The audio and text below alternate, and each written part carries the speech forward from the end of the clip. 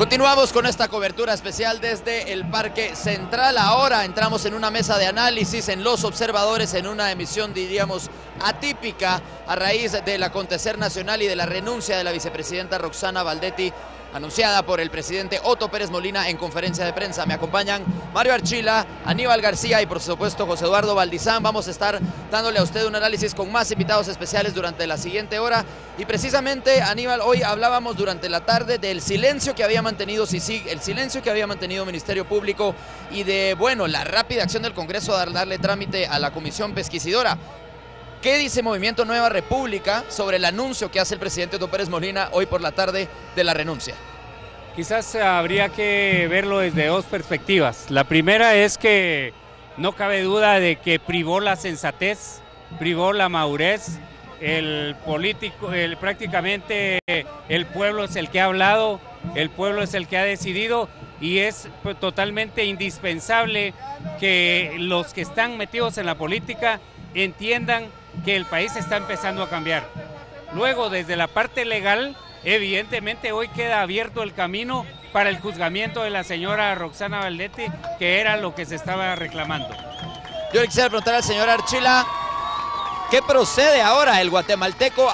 Hay reacciones en las redes sociales que ya ven a una vicepresidenta en la torre de tribunales, pero eso aún no se ha dado. ¿Cómo es el proceso para que el guatemalteco entienda qué es lo que ahora pues sigue? Primero que nada, tenemos que ver que la vicepresidenta en este momento sigue siendo vicepresidente hasta que el Congreso no confirme y no acepte dicha renuncia. Mientras tanto, está pendiente el antejuicio y que se permita, se otorgue ese antejuicio para que siga ya el proceso penal si hay alguna imputación directa hacia ella en algún momento. Si primero se conoce la renuncia y por lo tanto el antejuicio deja de tener sentido, quedará totalmente a disposición sin esa inmunidad del Ministerio Público, si sigue los tribunales, determinar si tiene alguna participación y resulta responsable penalmente de algo. Entonces, mientras tanto, por lo menos en estas horas, tengo entendido que el Congreso sesionará mañana para conocer la renuncia, por lo menos estas horas, sigue siendo la vicepresidenta y sigue siendo sujeto de antejuicio mientras no sea declarado. Ellos han dicho que continúa la comisión pesquisidora. José Eduardo, hoy SIG da una conferencia de prensa, se le pregunta al comisionado varias veces si hay indicios que vinculen a la vicepresidenta, pero la respuesta no es clara. Luego se da el anuncio. ¿Cuál es entonces la postura de CICIG en contra de la persecución de Roxana Valdetti? Bueno, yo creo que eso tendrá que definirse en las próximas horas, porque, a ver, una vez el Congreso acepte la renuncia de la vicepresidente, ya trámite de antejuicio o no trámite de antejuicio ya no tiene ningún tipo de inmunidad, puede ser procesada. O sea que en ese momento la pelota pasa a cancha de la CICIG y del Ministerio Público. Ahí es donde vamos a saber qué es lo que va a pasar realmente, ¿no? Sí, también se mencionaba hoy por la tarde que no fue CICIG ni fue Ministerio Público los que solicitan el antejuicio, sino fue la sociedad civil, en este caso el Movimiento Nueva República. Entonces, ¿qué podríamos esperar de CICIG y Ministerio Público si es que se acepta la renuncia y ella queda eh, pues ya desligada del cargo y de la inmunidad? Yo creo que lo que debe esperarse es una posición contundente, una posición firme, una posición profesional y objetiva y eh, creo que deben solicitar ya en el momento en que el Congreso de la República acepte la renuncia, en ese momento el Ministerio Público debe solicitar la primera declaración de la señora Roxana Valdetti. Incluso la juez podría en un momento determinado ordenar, ordenar la aprehensión de la señora Roxana Valdetti, porque estoy totalmente de acuerdo con José Eduardo en que en este momento ella es una ciudadana sometida al imperio de la ley. Señora Archila, hay una cosa importante. ¿Es posible que el caso en tribunales se quede sin jueza debido a la solicitud de antejuicio que hacen hoy en contra de Marta Sierra de Stalin por aparentemente haber recibido sobornos de los funcionarios señalados para recibir medida sustitutiva? ¿Qué pasaría entonces? ¿Se le ligaría a Roxana Valdetti a un proceso aislado de este o se le vincularía a las capturas de la línea? Creo que dependerá muchísimo de qué tipo de vinculación y qué tipo de caso presente si sigue Ministerio Público para establecer si es alguien más dentro del mismo o tiene otro grado de participación si la tuviera de algún caso y por lo tanto eh, iniciarse un proceso distinto contra ella. Creo que eh, tenemos muy poca información del caso de lo que CICIG ha llegado a investigar.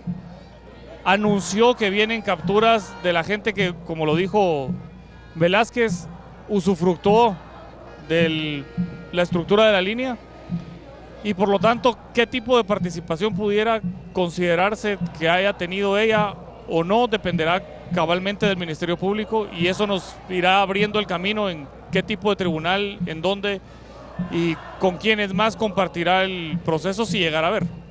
José Eduardo, hoy por la tarde hablábamos sobre el timing, digámoslo así, el momento en que la CICIG decide dar a conocer estas investigaciones, decide girar las órdenes de captura en, eh, en conjunto con el Ministerio Público. ¿Por qué no lo hizo antes? Hoy nos decía Alfred Kalsbit, ¿por qué no lo hizo hace siete años? Yo le quisiera preguntar. Bueno, hay, muchas mafias en este país, ¿verdad? Y la CICIG es un cuerpo que ha sido traído justamente para desarticular cierto tipo de aparatos que no los podría desarticular, digamos, los entes ordinarios del país. Ese fue el supuesto bajo el cual fue traída la CICIG. Yo escuché hoy la conferencia de prensa del comisionado, estaba bastante molesto con las críticas, por cierto, eh, en que se le señala a la CICIG justamente del de, ese, ¿cómo le podemos decir para que no se enoje tanto? De ese sospechoso timing, de ese, de ese, bueno, de ese momento tan especial en el que fue aprobado. Pero yo vuelvo a insistir en esto. Ok, ya en este momento la vicepresidenta es una ciudadana cualquiera. En este momento ellos tienen la pelota en su cancha. Ellos son los que tienen que probar ahora las cosas. Y es muy importante tener eso en cuenta, ¿no? O sea que eh, veremos cuál es la actuación del Ministerio Público, veremos cuál es la actuación de la CICIG. Hasta el momento, en este caso específico, pareció una actuación bastante buena. Hasta el momento, ¿verdad? Con el nubarrón ese del, del momento tan estratégico, digámoslo así, como para hacer todo este destape. Pero fuera de eso, pareciera hasta el momento que, las cosas van bien. Vamos a ver. Hay un analista que también dijo, bueno, esta podría ser una estrategia, pues se viene el caso de Marjorie, de la Reina del Sur, que ya en varias ocasiones ha amenazado de alguna manera u otra en que ella ha dado información a las autoridades de Estados Unidos que involucran a funcionarios eh, públicos de Guatemala en casos de corrupción. Esta podría ser una medida paliativa de la vicepresidenta para una tormenta más grande que se avecina?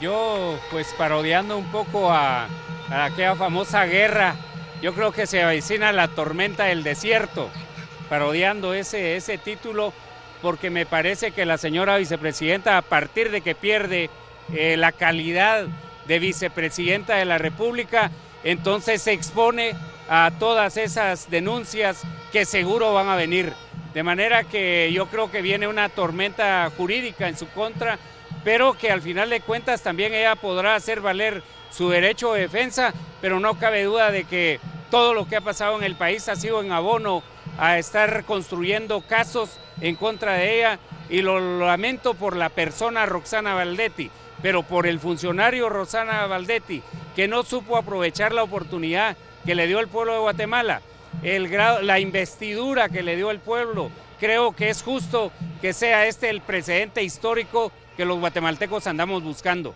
Hoy es un día de que hay que verlo para adelante y para atrás. Hoy en la mañana decíamos que el 25 de abril había una Guatemala y después del 25 de abril hay otra Guatemala. Hoy se está consolidando, ojalá esa Guatemala de justicia, de cero impunidad, y yo creo que el pueblo de Guatemala debería pedir más. No basta con pedir la renuncia de la señora Roxana Valdetti. Ahora hay que ir por la depuración del Congreso de la República. Ahora hay que ir por la depuración del organismo judicial.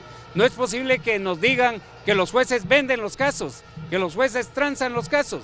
Eso realmente no construye un Estado de Derecho y nosotros empezamos también a pedir que vayamos por una reforma a la ley electoral y de partidos políticos realmente de fondo, porque ese es el nudo jordano del sistema. Hablando precisamente de eso, señor Archila, ¿cómo se ve afectado ahora el proceso electoral?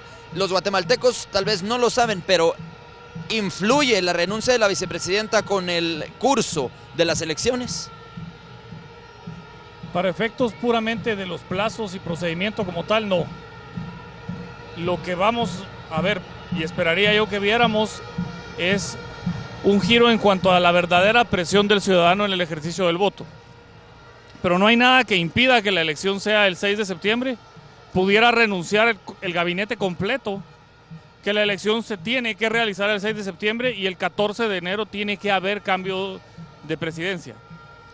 Entonces, en sí el caso no afecta los plazos, no afecta la convocatoria, sí afectará en la parte política, en la parte de la presentación del discurso, en la parte de la curiosidad con la que los ciudadanos tenemos que observar quiénes están en la oferta política en este momento.